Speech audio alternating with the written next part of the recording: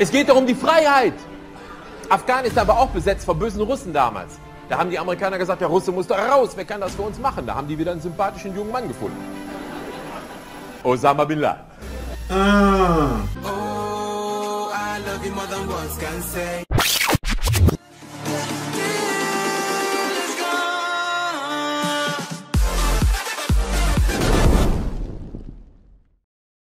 Ladies and gentlemen, boys and girls, you know what time it is. It's your boy Yeshiri Share, the very one and the only, and we are back here again today on this beautiful day, guys. Go in urban, go in tag, go in everything. Okay, now go in urban, guys. Okay, hope you guys are all doing well.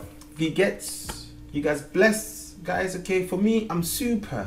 Danka, Dankeschön. Thank you very much for all the love and the support. Okay. But right now we're gonna go straight to Volker Pispers, the hard truth giver, the brutal satire bringer, the lethal joker. Okay, he drops it in. You get me? He drops it in. Crazy.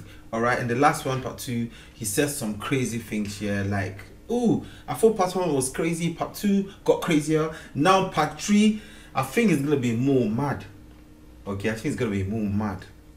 Anyway, that's not too much, guys. I'm gonna jump on this straight away. But before we start, make sure you smash that like button, subscribe, give me some love, give me some love, give me some love. Hundred thousand subscribers. Here we come. Let's go, guys. All right, let's get it started. Okay, so Putin has said a beautiful sentence shortly after the war had ended last year. Putin hat gesagt, wenn ich die Amerikaner wäre, ich würde welche finden. You'll find some WMDs. Yeah, yeah, the weapons of mass destruction. Because nothing was found. Nothing.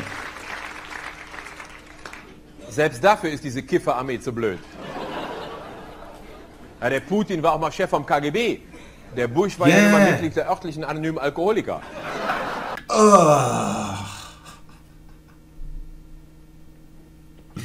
Putin was one of the bosses of the KGB and Bush, the member of the local Alcoholics Anonymous. Chef vom KGB. Der Bush war ja nun mal Mitglied der örtlichen anonymen Alkoholiker.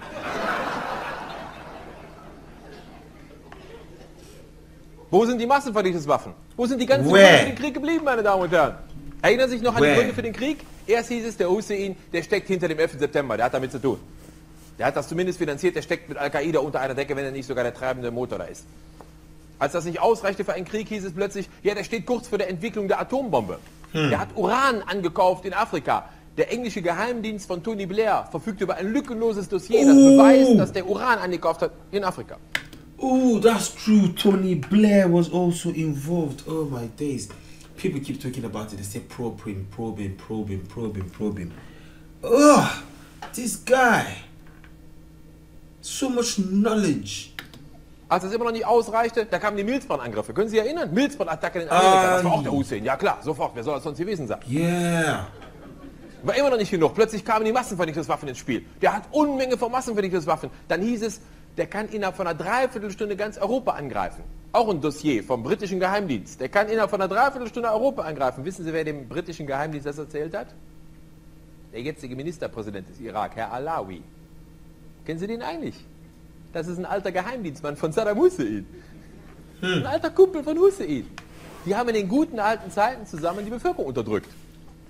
Und dann haben die sich zerstritten, wie das bei Verbrechern ja schon mal so passiert. Okay. Der Alawi hat den Kürzeren gezogen, musste fliehen. Abgehauen ist er nach England. Von da aus hat er seitdem den Widerstand gegen seinen alten Kumpel Hussein organisiert, mit Anschlägen im Irak und allem drum und dran. Und um endlich die. Weltbevölkerung dazu zu kriegen, ihn wieder da zu installieren, hat er den Engländern erklärt, er wüsste ganz genau, der Hussein hätte Waffen, die könnten innerhalb von einer Dreiviertelstunde ganz Europa angreifen. He had weapons to attack Europe in three three quarters of an hour. Zum Dank haben die Engländer ihn ja jetzt zum Ministerpräsidenten gemacht. ja. Nichts von den ganzen Gründen war korrekt. Es war alles erstunken und erlogen. Viele haben das damals schon gesagt. Und wie sagte Herr Scholz, Wait, what? ja, nichts von den ganzen Gründen war korrekt. Es war alles erstunken und erlogen. Das damals lies. schon gesagt. Und wie sagte Herr Schäuble damals auf den Vorwurf, der Krieg ist ungerechtfertigt? Herr Schäuble sagte in einem Vortrag, der Irakkrieg ist eine schlechte Lösung. Aber eine noch schlechtere Lösung wäre eine gedemütigte Weltmacht USA. Da können Sie mal sehen, was für ein Kelch an uns vorbeigerollt ist als Bundespräsident.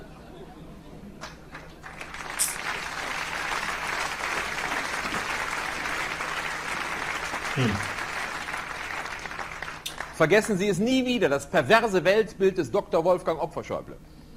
Der Schäuble hat doch im Prinzip gesagt, ein paar tausend tote Iraker sind schlimm. Aber noch schlimmer wäre, wenn die Regierung Bush zugeben müsste, dass sie gelogen hat. So a few thousand dead Iraqis are bad.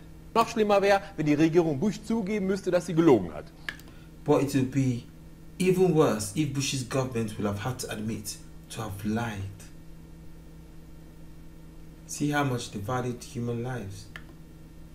Oh Saddam. Hussein als Hitler. Hm? Und inzwischen hat der Bush zugegeben, ja, es war alles erstunken und erlogen. Während Friedbert Flüger, der außenpolitische Experte der CDU, noch glaubte, nächste Woche finden sie die Massenvernichtungswaffen, hatte Bush schon längst gesagt, ja, wir wissen ja, das war alles gar nicht wahr. da hat der Cowboy doch kein Problem mit gehabt. Bush hat da gestanden und hat gesagt, ja, äh, mein Freund Tony Blair glaubt bis heute, dass mit dem Uran, den in Afrika, aber unter uns, das hat mein Geheimnis sich aus den Fingern gesaugt. Die mussten irgendwas nach Hause berichten, die Jungs wollen ja auch ihr Geld verdienen. Ähm, Oh my days. Oh my days. Oh my days. Things people had been saying while these attacks were going on. Apparently, it was actually true. People saying it was all made up. And people, and a lot of people saying, no, no, no, no, it wasn't made up, it wasn't made up. America are doing it to save the world. To save the world and protect the American dream and the dream of the rest of the world of achieving whatever they want to achieve. But apparently, they're all a pack of lies. Al-Qaida und Kontakte zu Hussein, müssen wir heute sagen, hat es nie gegeben. 11. September hat der Hussein nichts mit zu tun gehabt. Milzbrandangriff in Amerika, da haben Sie nie wieder was von gehört, oder? Das letzte, was ich gelesen habe vor über einem Jahr, war, dass die Milzbrandviren aus einem amerikanischen Militärlabor stammten. Danach What? ist nie wieder was darüber geschrieben worden. Denn dass der Really? Hussein in ein amerikanisches Militärlabor eingebrochen wäre, um unbemerkt Milzbrandviren zu klauen, das hätte nicht mal die Merkel geglaubt, meine Damen und Herren.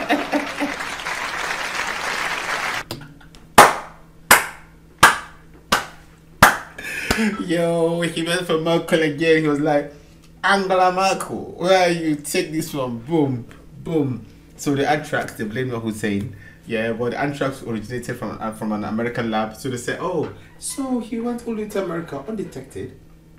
He stole the anthrax. Come on, and then uh, attacked America. Oh my days! So even Angela Merkel wouldn't believe that. Okay. Ah, this guy, I can tell he doesn't like Angela Merkel.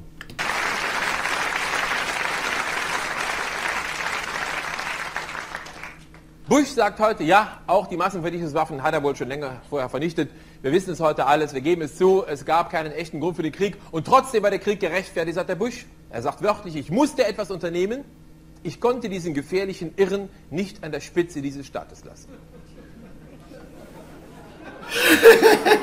Und meine Damen und Herren, wenn das in Zukunft der Grund für einen demokratisch geführten Krieg ist, wenn ein gefährlicher Irrer an der Spitze eines Staates steht, Oh, he's gonna say he was talking about himself. Look at that look on his face. He was gonna say maybe Bush was talking about himself. Ich weiß ja nicht, woran Sie jetzt denken. Aber in Italien würde ich auch schon mal die Jalousien runterlassen. Oder sagen wir es andersrum, in Hessen und Bayern haben die seit Jahren sehr viel Glück gehabt.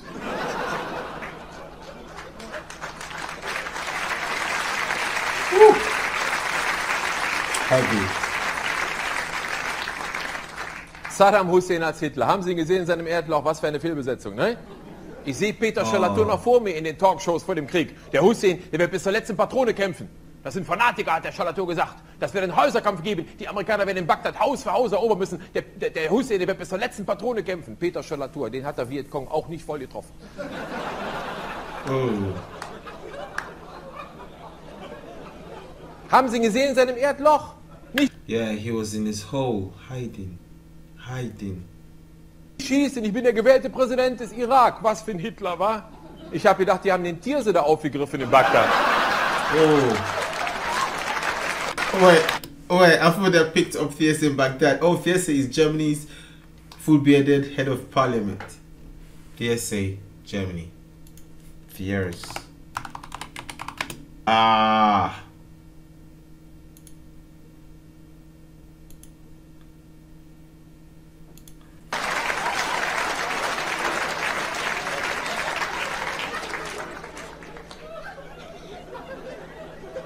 Zweimal haben die Amerikaner ihren Verbündeten Saddam Hussein besiegt. Their ally. Und Papa Bush war clever. Der hat den an der Macht gelassen, geschwächt an der Macht. Schiiten, Sunniten, Kurden war sein Problem, weiterhin. Total geschwächt, absolutes Handelsembargo, ein Arschloch im Wandschrank. Für eine Weltmacht eine prima Sache. Ja, wenn es zu Hause nicht so läuft, wenn die Konjunktur nicht anspringt, wenn die Praktikantin rumzickt. Man holt das Arschloch aus dem Wandschrank, bom, bom, bom, bom, bom, bom, bom, dann kommt er wieder weg. So auch jetzt beim Terrorismus. 11. September. Alle sind geschockt, vor allen Dingen in Amerika. Auch zu Recht geschockt. Was können wir tun? Wir müssen etwas tun, wir müssen etwas bombardieren. Als Antwort, ja. Äh, bombardieren wir Afghanistan. Prima, da ist eh schon alles kaputt. Mach los. Also, vier Wochen Bombardement. Super. Terrorismus weg? Nee, Taliban sind weg. Terrorismus ist immer noch da. Wir können ja nicht mal Osama Bin Laden fangen, seien wir ehrlich. Aber wir wissen auch, wo ein Arschloch am Wandschrank sitzt. Ja, hat er was mit dem 11. September zu tun? Nee, aber wir wissen, wo er ist. Also, raus damit. Bom, bom, bom, bom, bom, bom, bom, bom, bom. Und was macht der blöde W? Er macht den Wandschrank leer. Ich sah den, ja. Wow. This is some deep criticism of America. Okay, some deep criticisms. Whew. Yeah. I thought it was gonna get easier to digest, easier to, you know, assimilate. But to be honest, it's just getting harder and harder. Okay, this is getting harder and harder. Gogo Peace Post, he's not he's just not taking it easy at all. You see? Definitely not. Wer ist jetzt in Zukunft schuld? Jetzt haben die Syrer Angst, dass sie in den Schrank müssen. Es geht doch um die Freiheit. Afghanistan war auch besetzt von bösen Russen damals. Da haben die Amerikaner gesagt, der Russe muss da raus, wer kann das für uns machen? Da haben die wieder einen sympathischen jungen Mann gefunden. Osama Bin Laden. Ah. Die Amerikaner haben gesagt, Osama, wir rüsten dich auf. Und dann kämpfst du gegen die gottlosen Russen. Ja, mit wem soll ich denn kämpfen, hat der Osama gesagt. Ich hab doch hier keine Leute. Diese paar afghanische Freiheitskämpfer, die hier rumlaufen. kann das für uns machen. Da haben die wieder einen sympathischen jungen Mann gefunden. Osama Bin Laden. Osama Bin Laden. Die Amerikaner haben gesagt, Osama, wir rüsten dich auf.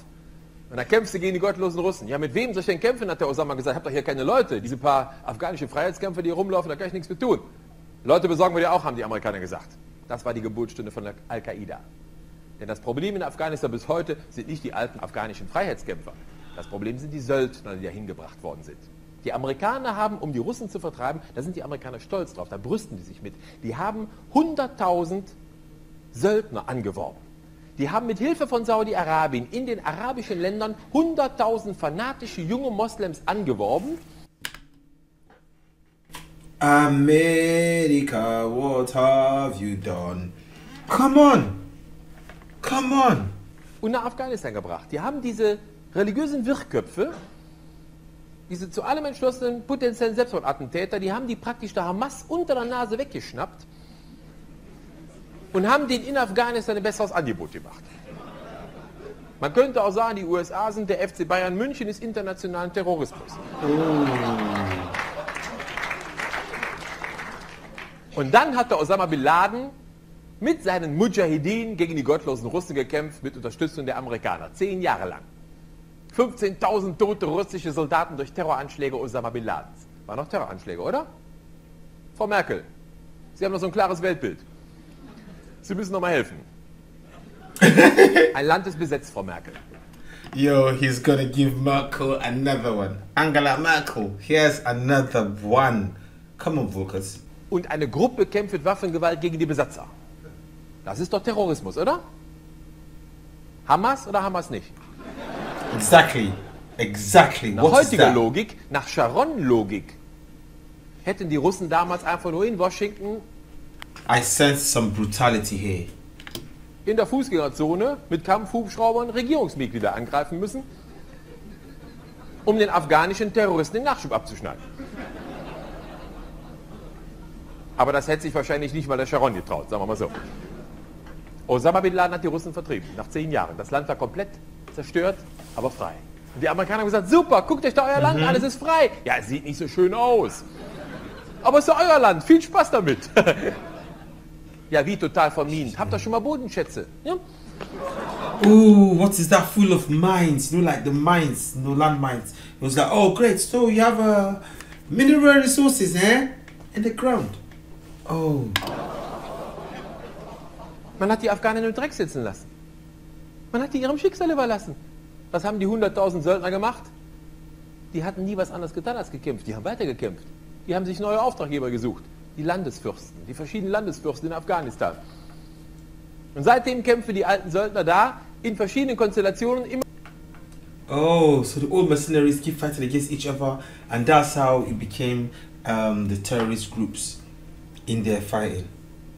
Wow, wow.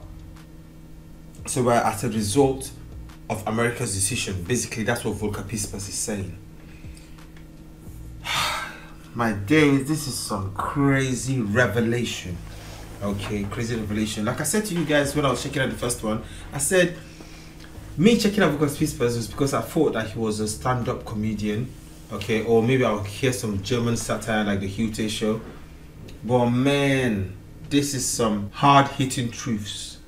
Okay, really hard hitting to the point where I'm like, you know what, I need to research on these things. I need to just check to be sure because I'm like, this is some craziness, man.